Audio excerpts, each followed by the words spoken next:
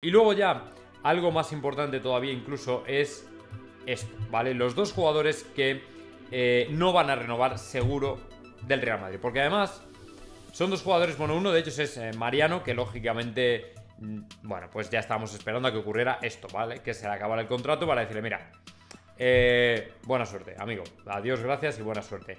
Pero el tema es Asensio.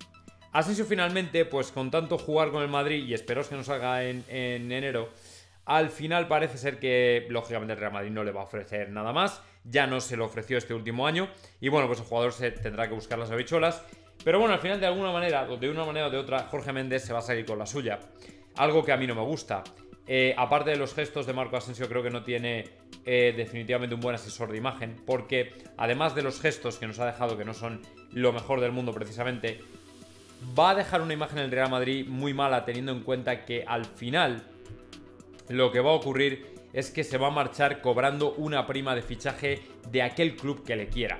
Y esto le va a doler al Real Madrid, a la institución y a los aficionados, ¿vale? Porque independientemente de cómo te lleves tú con el Real Madrid, si luego agarras y no le dejas ni un duro al equipo y te marchas, honestamente creo que no estás siendo demasiado, eh, demasiado atento con el club que te ha dado la vida como futbolista.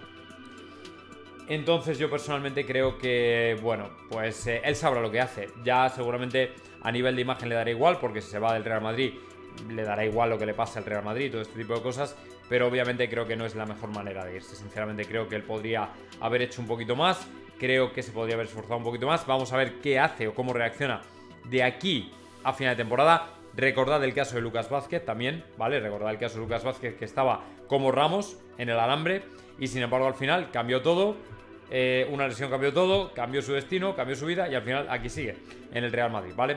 Así que bueno, pues a partir de aquí vamos a pensar que, bueno, pues que por lo menos lo haga lo mejor posible, de aquí a final de temporada, que le vaya todo lo mejor posible. Y bueno, pues ya digo que cuide un poco, por lo menos que se acuerde del Real Madrid, de que es el equipo que de alguna manera le ha dado la vida futbolística y la fama.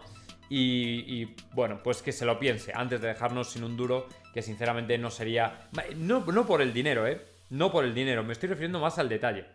Me estoy refiriendo más al detalle. El detalle es lo que realmente deberíamos tener en cuenta. Pero bueno, eso ya es una cosa de. Es una cosa de Marco Asensio. eso ya depende de él, ¿vale? Los demás aquí, sinceramente, poco, poco podemos pintar. Eh, Jesús Márquez Maturano, J. Crack, Mukoko podría ser una opción. El otro día leí algo, el otro día leí algo, pero yo ya hay cosas que prefiero no mojarme demasiado, ¿vale? Hasta ver un poco más cómo está la situación. Yo personalmente prefiero no, no lanzar las campanas al vuelo por Mukoko. De momento Bellingham, Hendrik anda por ahí tal, pero ya está. Y bueno, luego ya los, los empiternos Haaland y, y Mbappé, que veremos a ver lo que pasa con ellos, ¿vale? Así que nada, chavales, un abrazote fuerte, cuidados y os nos vemos mañana. Hasta luego.